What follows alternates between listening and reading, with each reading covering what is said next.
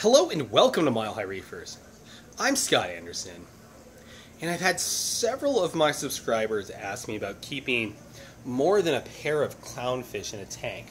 And I've actually been doing this for a couple years now with pretty good luck. So mine are Ocellaris, and I've got two pair. One that hosted this clam, and I've got another pair clear on the other side of the tank. Now, rather than cut it and pan it and do all that, I thought I'd go that method so that you can really see how big this tank is, right? You can get an idea of really how big it is. Now, this is important and part of why I get away with two pairs of clownfish in my tank.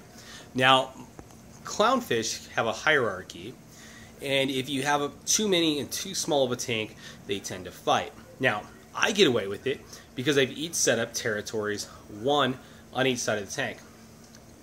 Now, I don't claim to be a clownfish expert, but Nemo, who is my biggest female clown, I've had her for 10 years.